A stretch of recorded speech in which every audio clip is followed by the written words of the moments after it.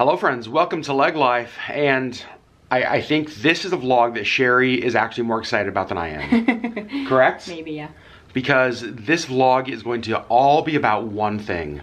What's that? Books. It's, it is. This is going to be a book vlog, um, and we're going to cover a whole bunch in this. Uh, we are going to talk about where Sherri likes to buy her books online. We're going to take you to our library book sale, one of our favorite book events of the entire year. We're going to show you where we like to buy books locally. Sherri's going to talk all about books in today's video. As Adam mentioned, um, we do have a library book sale. It happens twice a year, one in the spring, one in the fall. That's actually where we're going now. Um, that's kind of where we're going to start this vlog. It's one of my favorite things that our city does. All right, we just pulled up at the Loussac Library, which is uh, the biggest library in the Anchorage library system. It is where the uh, library book sale always is. Yep. And before we go in and show you guys, I want to talk a little bit about books this year. Okay. Okay. Every year, they know you always set a reading goal. The number of books you want to read in a year. Yes. What is the number of books you want to read this year? 100. Okay. And we are, today's April 30th as we're recording this. Um, how many books have you read so far? 41. Okay. So you're well, you're well on your way. Just so you know, if I read 41 books in a whole year, that would be the most I've ever read. That's genuinely unbelievable. Um, how many books are you currently reading right now? Two. Okay. What are you currently reading? I am currently reading The Cruel Prince Okay. and Off Limits Rule. All right. What is the Cruel, Cruel Prince? Is it in a series, standalone book? It's a series. It's set in fairy, Um, What is that? like what do you mean? fairyland. Oh, Fairylands. Okay. Is this book number? This is one okay. three. Have you read the series before? No. Oh. Yeah, about halfway through. And so far? Um, I think I like it. I think I'm more intrigued, like where the story is gonna go. Okay. So you're Does that make not. sense? It totally makes sense. So you're not giving up on it because you kind of want to see where it goes. Right. Okay. Yep. And the other book you're reading is Off limits rule. what is that about? So I usually, especially when I'm reading something like heavier, like The Cruel Prince, um, I want to read something lighter as well, like before bed, so that I don't get like sucked into a story. Totally makes sense. So this one is about um, this guy who falls in love with his best friend's sister, but she's off limits because it's his best friend's sister, So it's a Hallmark movie. basically. Okay, this is your Hallmark book. Yes, okay, got it. Have you read this book before? No. And how do you like it so far? it's really cute. I like it. Okay, so that's so Sherri's read 41 books this year, currently reading 2 a serious one and a Hallmark one. Um, now we're gonna go in and the library book sale. Let me explain a little bit how this works. So the library book sale happens over the course of three days. Friday is open only to library members. Saturday is open to the public. Sunday is open to the public, but Sunday is normally when we come. Because everything is half off. It's amazing. So a 25 or a 50 cent book becomes 25 cents. Like none of the books are expensive. No, and we'll show you guys all that when we go inside. Uh, one of the things that I love about the fall book sale, especially, is you can tell that there's a lot of Alaskans who come to this to like stock up on their winter reading. Yeah. Because you see people leaving Like with. stacks. Bags and bags of books. Just so you guys know, we actually brought a reusable shopping bag because we plan on buying maybe if they have good stuff, If they have good stuff.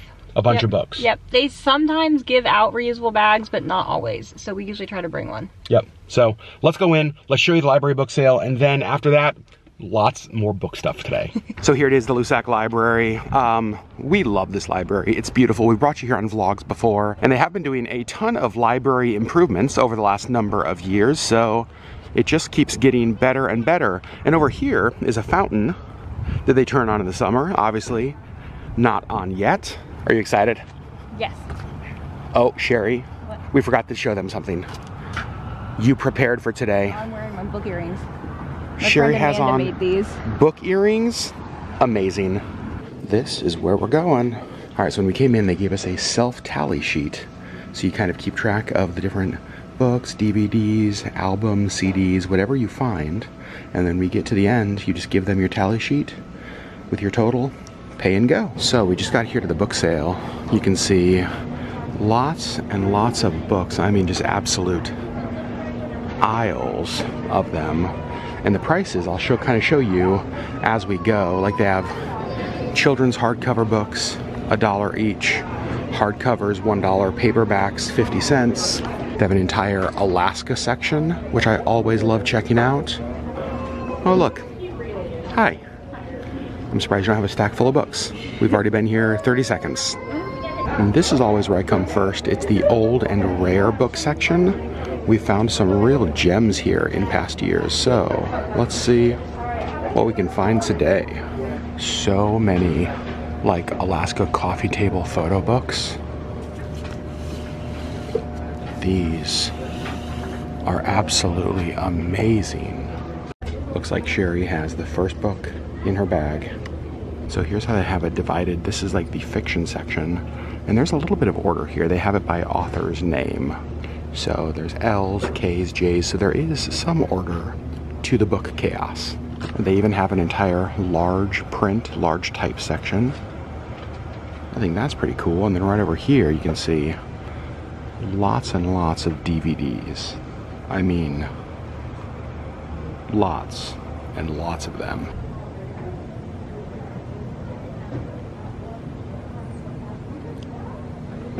We just finished walking around the book sale. Let's go show you what we got. We didn't get as many books as we have in the past, but we did get a few. We got The Adventures of Tom Sawyer. Mm-hmm. We have The Adventures of Huck Finn, but I we do not have the Tom Sawyer one, so I feel like that's something that we need to have. You need to have both of them. Yep. This one is called The Bookshop of Yesterdays. It just sounds like a me kind of book. Was it a book you had heard of before? No. Oh, you just found it on the shelf? Yep. It just looks really good. Okay. Um, we got A Night Without Armor, which is Jewel's book of poems. You used to own this. I have owned this before and I don't know what happened to it, but um, I love it, so we got it again. Okay. And this one, Adam actually found. It's a collected poems of Robert Service. This is Let Adam talk about it. so this is the kind of book that like every Alaskan should own. Robert Service is one of the most famous Alaskan poets. Uh, a lot of poetry just about Alaska. It's it's like an iconic Alaska book, and we don't own it, but we do now. So we got all of these books for fourteen dollars, $14. which again, if we would have come yesterday or er, come tomorrow, seven bucks. Correct. But I feel like fourteen bucks for four books, not bad. Yeah. And the nice thing is that all the funds raised from this goes to the Friends of the Library, which is a group that helps support our public library. So, win-win. So the book sale, one of the places you buy books here locally. Yes. There are a few others, and we're going to take you guys there um, to show you where Sherri buys books. Yeah. Some of the places you guys have been many, many times. Um, but you don't just buy books in person at bookshops here. You also order books online. I do. Let's talk about that for a minute. Okay. Because there are like three primary places. Yes. So tell us when Sherri Beth needs books, she goes online, like where do you go? The first place I always go is a site called Better World Books. Mm-hmm. Um, and so this website is usually like discounted kind of books, and it donates. Um, I forget what the percentage is, but a certain percentage of every sale goes to literacy around the world. Love that. Love that. Um, and then you can also like up your, um, like add another dollar to your order or whatever for um, carbon footprinting. To like offset the carbon. Yes. Yep. So I like all of that. So that's always the first place I go. Um, if I can't, if I'm looking for specific books, if I'm um, looking, if Better World Books doesn't have it, then I will go to, Is Better World Books kind of like, you know when you go to a used bookstore, um, it's kind of like, well, you kind of get to select from just what they have. yes. And that's kind of what Better World Books is. Yeah, so they have like um, book drops kind of around the country. Um, and so it, it really just is dependent on what they are donated. What's in stock? Right. Okay. So um, if they don't have the book I'm looking for, I will go to thriftbooks.com. Okay. Um, that is also just another discounted site. Uh, but again, like it's kind of really dependent on what they have. So um, I've had less luck with thrift books, but when I find them, they are usually pretty cheap, Okay. which is great. Um, and if I can't find them those two places, I will go to Amazon because Amazon has everything all the time. It's true. Um, so we will link Better World Books and Thrift Books down below. Uh, Better World Books is one of those things that when you started using it, I don't feel like we heard about it anywhere. No, in fact, um, when I first came across it, I, I don't remember how I first came across it, but I, I was just like, this is amazing, like this is so cool. And so I was telling my sister about it and she was like, we know them. So my sister actually knows the people that started it in in Mishawaka, Indiana. Which is where like you were born. Which is where I was born. so weird. Which is crazy. So they have like two distri distri distribution centers. Wow. Uh, one in Mishawaka and one in Vegas. Okay. Vegas. Um, and you had no problem with shipping, any of that kind of stuff. Like they're no, all... I, I, feel like it's generally a while before it gets here. They say five to nine uh, business days for it to get here, and I feel like in Alaska it's usually in the 10 to 12 business days. Okay. Um, so if you it, need so it, it takes a little bit. If you need a book tomorrow, not the best option. Right. Um, but I am gonna again link. We'll link Better World and Thrift Books down below. Mm. Um, so those are kind of the places you go online. Uh, in person, we saw the library book sale. The next place we're gonna go is um, Barnes and Noble. Everybody knows Barnes and Noble. Now, let's talk about this for a 2nd mm -hmm. Barnes & Noble is a chain. We are gonna go to kind of our local bookstore after Barnes & Noble. But here's what I'll say. We have no problem supporting Barnes & Noble as a chain because we want bookstores to stick around. I want bookstores to stick around, and they're kind of the last man standing. Um, we used to have. Do you guys remember all of the book chains? Borders. We had we had a great Borders in Anchorage. Oh. In fact, I actually ordered a book from Better World Books um, a couple weeks ago that I got in, and it had a Borders sticker, and I was like, oh my gosh, Borders. Such a flashback. yeah. And so, like, we just kind of support all book businesses, and by we, I largely mean this one right here. Um, I'm single-handedly keeping them in business. I hope that's true. I don't think that's true. but it's like worth keeping in business. Right. So let's go to Barnes & Noble. Do you have any books on your list you're looking for, Barnes? Probably. You always have books. I always have books on my list that I want. Let's go book shopping. Here we are at Barnes & Noble. All right, so we just walked in Barnes & Noble, and this is hilarious. This is one of the books you just bought at the library book sale. Yeah. Uh, how much is that here?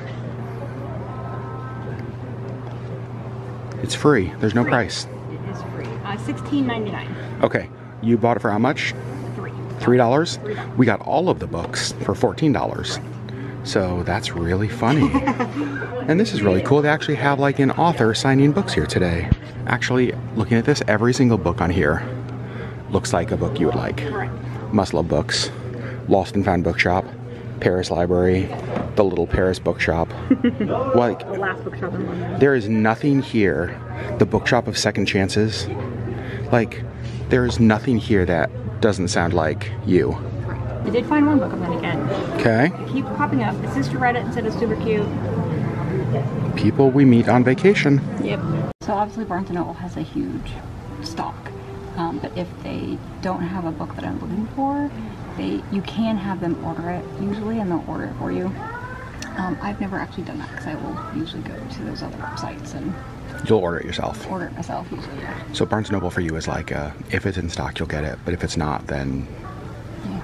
find it elsewhere. elsewhere. Yeah. Okay. Sherri Beth, was book stop number two a success? Yes, On to number three. All right, before we go to stop number three, uh, let's talk about the books we bought there. I. Adam got three of the four books. What's the one book you got? We showed it briefly. Yep, people we meet on vacation. She got that one. Yep. Okay, now the books I, you guys know I don't read a lot. I'm trying to be better. I've been better recently.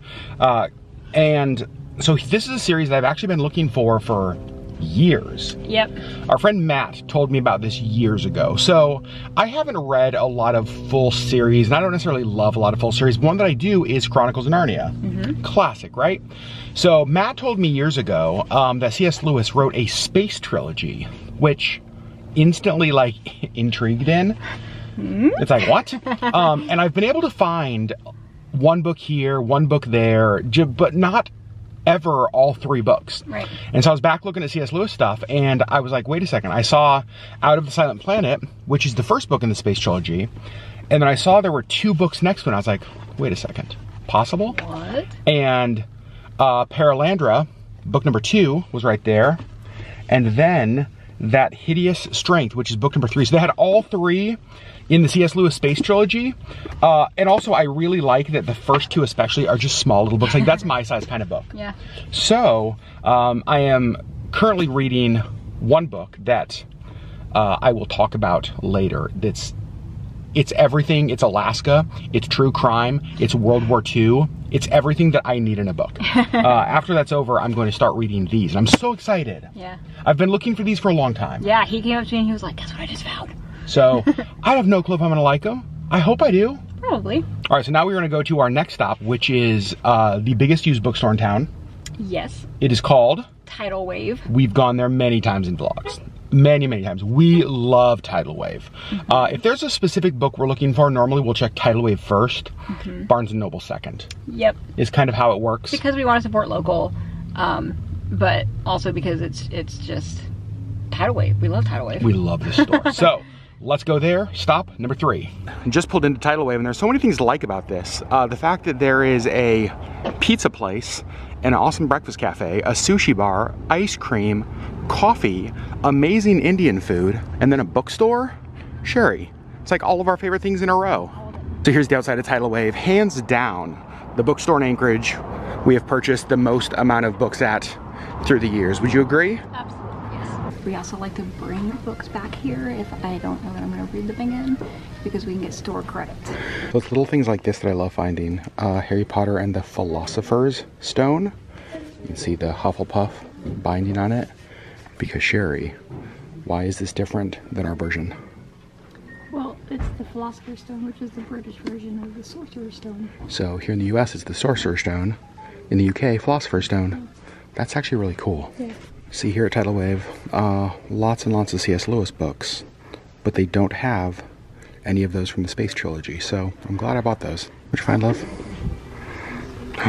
you guys. Okay, You loved that series, right? I loved this series City of Ember, People of Sparks, Prophet of Yonwood. Oh my gosh, I loved these books. That is a series that's one of my favorites. I'm gonna call you out. It's also a series that you kind of tease me about a little bit. I do not tease you about it. It's very young. It's a very easy read. It is a very easy read. I had a hard time getting into it because of how easy it was. Wow. All right, so I just found this book, and I actually think it sounds interesting. Um, so I've never read Jane Austen. Obviously, Sherri loves loves Jane Austen, uh, but this is Jane Austen turns sleuth in this murder mystery. It's set over 12 days of a Regency era Christmas party. What? Christmas Eve 1814, Jane Austen's enjoying her holiday with family and friends. And then, like, it turns into murder mystery? What? I think this sounds amazing. But it's gonna stay here. Heading out of Title Wave, empty handed, no purchases this time. which normally does not happen. All right, but let's talk about why we left empty handed because this is a little bit of a dilemma. Yeah. What's going on? We have very limited bookshelf space. Yep. Um, in fact, our bookshelves are full. So um, today specifically, um, it's it's sort of like I'm being picky about the books that I get. There's a lot of books that I do want and I want to read, but I don't have anywhere for them. So I'm only buying books that I really, really want to read. um, and like enough to clear space, like get rid of other books so that I can put those there. Because in some ways, like, if you're gonna buy a book, it has to be good enough to replace a book you already have Right. to make space. Yeah, That's the dilemma Sherri's dealing with. I know. So, I just need like an entire room of bookshelves. an entire library. We could, we just redid the guest room. We could change the guest room theme from Disney to library. We could just go Belle's Library. We could go Belle's Library. Okay, this is a little interesting. we have space. We could do Belle's Library. Hmm, now I'm actually intrigued by that. Oh. Anyway, um, all right, so we've gone to the book sale, we've gone to Barnes & Noble, went to Title Wave.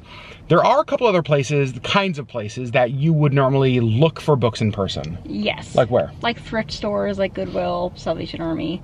Um, those are harder, I think, to find books because it, it's they keep a very small book selection usually. Mm-hmm. Um, so, and um, like Goodwill specifically, um, I've found good books there. Like there's there's gems, but they're really hard to find um, because there's not really any like organization to No their books. organization. Um, so I found like the first two of a trilogy, and I I did get those two, and I got the third one on Better World Books, but they were in like different aisles, like completely different. Like they're really just they throw books on shelves, and so there's it's harder to find a, a series. It's harder to find like specific books because there's not really any like organization. We do have like the Goodwill that we like the most as far as books go is the one in South Anchorage. So if you're familiar with Anchorage, uh, it's kind of across from the Diamond Center. You actually have a pretty good sized book selection. Yeah. But as like Sherri said, it's just like it's chaos. Yeah, they have like one shelf that is that is mostly like kids books, like the big like block books.